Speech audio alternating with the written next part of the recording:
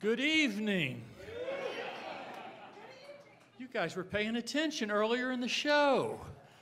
And by the way, I was in the Follies Bergère too for nine years, and we have more Follies alumni back here. And uh, I love, I love moments in life that make circles like this.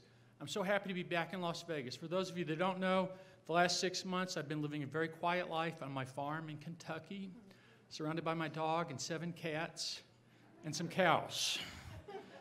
I got my second shot on Friday and, and came right to Las Vegas to be here with you guys tonight. So I'm so happy to be back here. And Tommy was a great movie, Ann-Margret, but I can top that. When I was a teenager, for Christmas, I got a book. My girlfriend gave me this book uh, written by William Goldman, our greatest American screenwriter. And it was called Magic. And I read this book, and it was, it was a great book. And, and of course, I was crazy about magic, so it was an inspiring book to read. And then I heard they were making a movie of that book. And of course, when it came out, I went to see it. And that movie starred Anthony Hopkins and Ann-Margret. so, so now that circle is complete. We're here meeting for the first time. So, so it's, and, and uh, thank you for coming here this evening. So, so and, and that's really what this, uh, why I'm here, is, is uh, completing a circle. And uh, I'll, I'll, explain.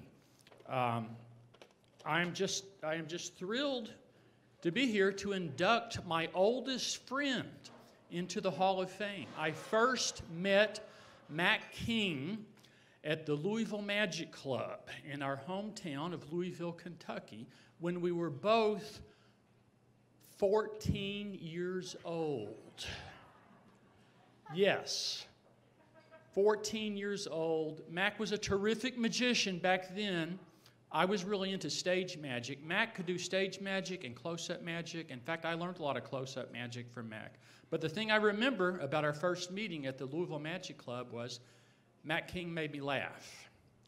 And he's been making me laugh for 47 years. And over the years, I have had a very unique perspective working with Mac when we were teenagers and seeing him grow. Over the years, I've, I've watched him literally grow into the world class magician, entertainer, and artist that he is today.